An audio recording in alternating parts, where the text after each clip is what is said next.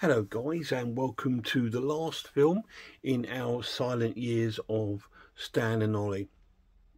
And tonight we're back in 1927 with Love 'em and Weep uh, from this new Eureka um, classic collection which I believe has got about 15 silent movies in there. And we've only discovered just three of them. So you've got another 12 on there to watch if you decide to go and buy the set after looking at these reviews. Now, Love 'em and Weep is, again, Stan and, um, and um, Ollie do, are not the main stars of this one. The main star of this is another famous sort of comedian from uh, that era called James Finlayson who was in loads of Laurel and Hardy's um, movies and other, other sort of films. Now he's he's another distinctive looking guy with a, a bald head with the hair around the sides and the back and a big moustache and he's got the crazy crazy eyes.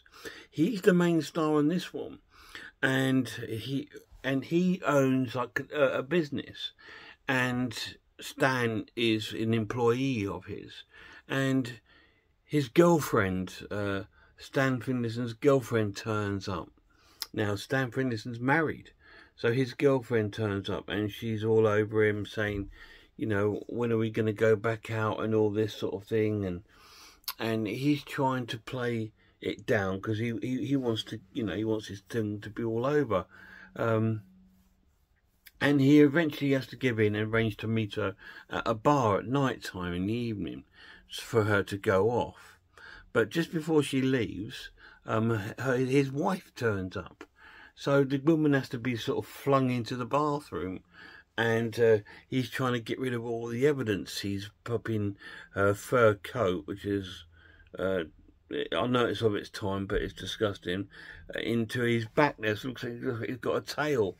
And Stanley's rushing around trying to help him sort of clear it all out. So his wife turns up and tells him that some friends are coming round for the evening for dinner. So he he uh, at seven o'clock. So he um and she got she and she wants to go to the bathroom where the girl's hiding to uh to wash her hands and that. So she does that, and then doesn't see the girl, which is crazy. So he manages to get away with it because his wife goes off. But then his girlfriend comes out and says, oh, I'm going to see you tonight at 8 o'clock. You better be there or I'm going to sell the story to the papers about you having an affair and that won't go down well for your business. So he's stuck in the middle. So, and he doesn't know what to do. So he sends Stan uh, round to her house to um, meet her and take her to the bar and sort of be with her until he can reach there. Uh, Stan doesn't want to do it, but he's threatened him to fire him if he doesn't do it. Um, so in the evening time, Stan goes round her house um, to meet her and take her to the bar. She's really reluctant, and she gets on the phone to James Finlayson. Uh, while she's talking on the phone, James Finlayson's guests arrive at the house, and the guests are played by Oliver Hardy. So he's turned up, and he's one of the guests at the house. And so his wife, James Finlayson's wife, wants him to sort of like uh, sing these songs and he keeps giving her songs like things there's someone coming around your house and all this sort of thing like this um, because Stan's doing a lousy job at keeping this woman away and she turns up at the house and in all chaos capers start as they are um, at um, James Finlayson's house so he's trying to keep them separate. They start lying to say that um, she's Stan's wife and all this sort of thing. And so you can imagine what's going to go on. And it's it's it's it's a lesson in um, affairs, if you like, and it's um and it turns into a, a sort of typical um, Laurel and Hardy sort of um, film, but they're not really in it as as any star. They're like uh, they're just not extras, but they're they're like just other characters, and it's really James Finlayson and his and his uh, love interest that are the main stars of this film.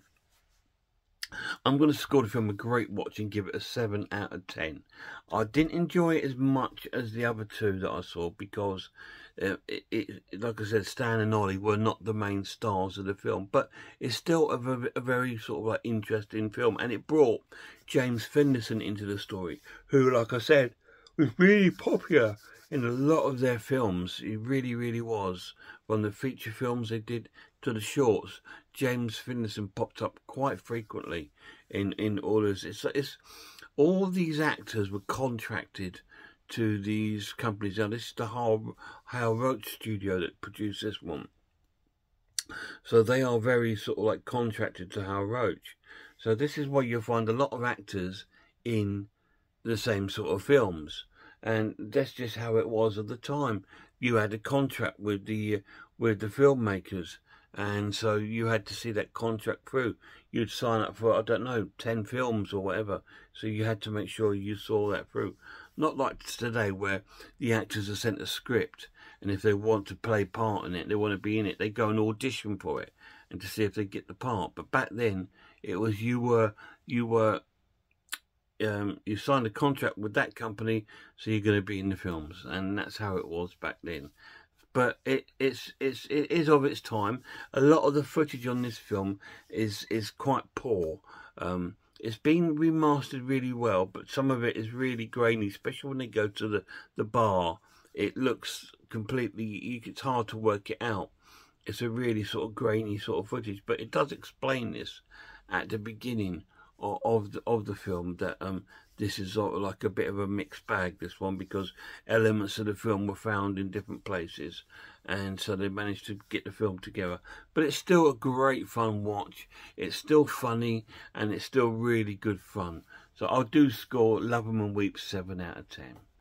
And that's it. I, I hope you've enjoyed this week of seeing some of the early Stan and Ollie films. Now, I could go and do more, but I don't want to ruin the set for you this this set does have 15 silent sh short films in it.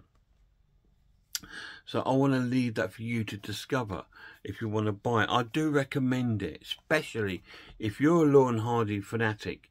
You have to own this. It's important. It's important to their career. It's important to um, all the sort of things that you like. So it's really, really, really cool thing to have. And I'm glad I brought this it's cool and I'm going to enjoy watching all the others on my own time. Anyway, guys, thanks for tuning in.